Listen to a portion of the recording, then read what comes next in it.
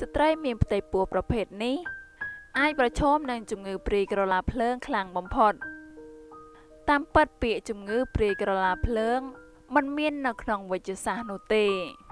គឺគ្រាន់តែប្រជាជនហៅតតគ្នាតាមជំនឿប៉ុណ្ណោះភាគច្រើនជំងឺនេះកើតមានចំពោះស្ត្រីមានផ្ទៃពោះនៅសប្តាហ៍ទី20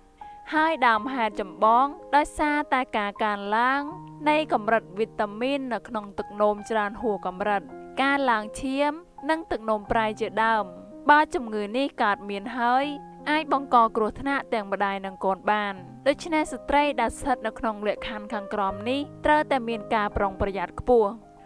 1ស្ត្រីមានផ្ទៃពោះមានអាយុក្រោម18ឆ្នាំ ឬអាយុលើសពី35ឆ្នាំ2 គម្លាតក្នុងការយកកូននីមួយៗឆ្ងាយរហូតដល់10ឆ្នាំ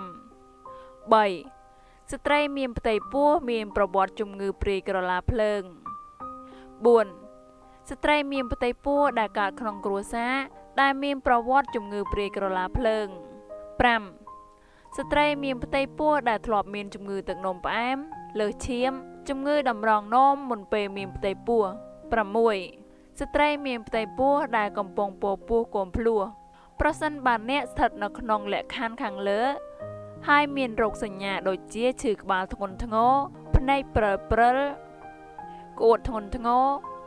មានអារម្មណ៍តឹងតឹងនៅក្រោមអណ្ដាត ឡើងទម្ងន់លឿនហើមមុខក៏ដៃនិងជើង ត្រូវប្រញាប់ទៅពេទ្យភ្លាម។